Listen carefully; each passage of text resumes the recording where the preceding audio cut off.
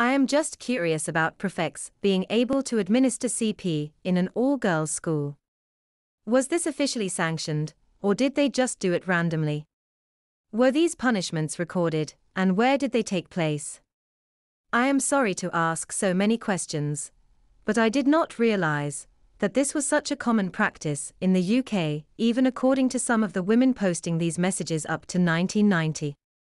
I am guessing that this could only happen in the private system.